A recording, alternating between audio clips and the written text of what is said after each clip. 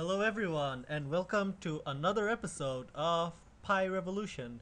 On this tutorial we're going to cover how we can solve the n-queen problem. So if you're not familiar with the n-queen problem, it's basically involves putting queens on a chessboard and not having them kill each other.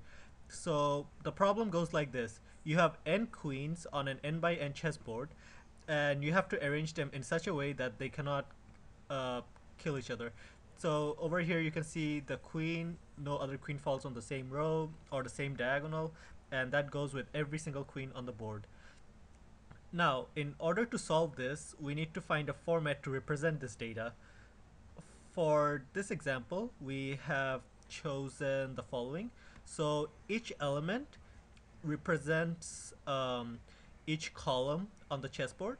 So for example you see three over here so this represents like you are on the first column and counting from the top, you're on the third row, zero, one, two, three.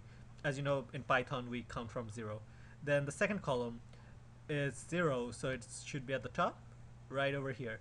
Then the third one, the third column is a 4.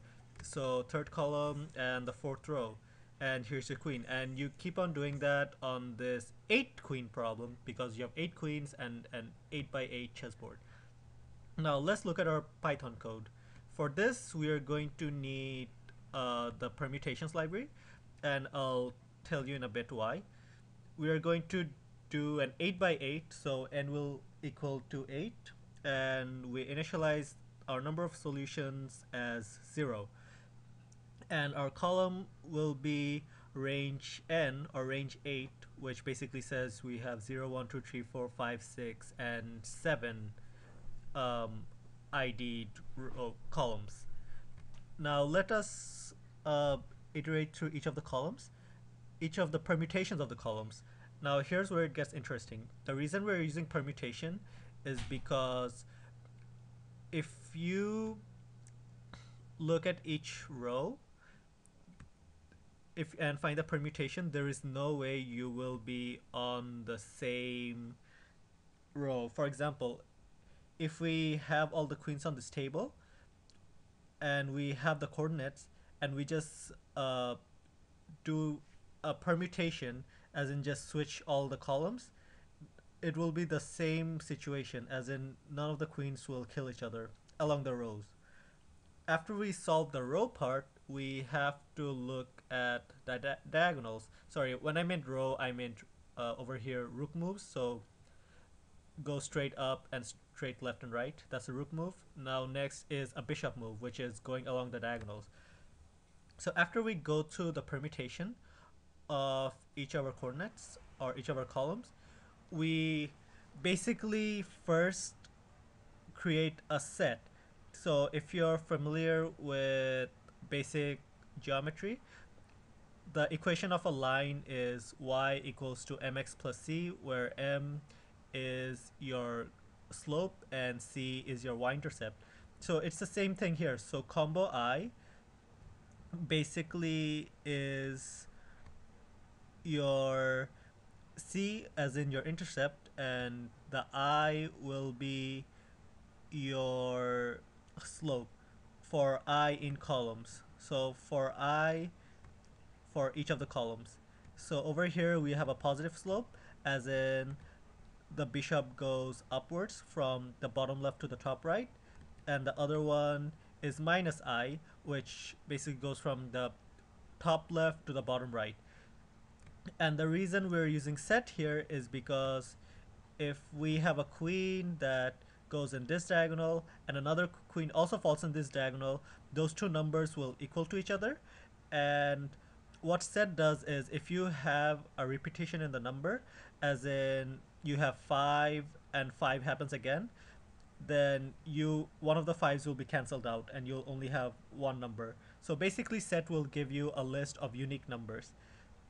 Now if n is equal to this value and this value as in the positive slope and the negative slope that means we have a unique value as in we have a unique number of solutions.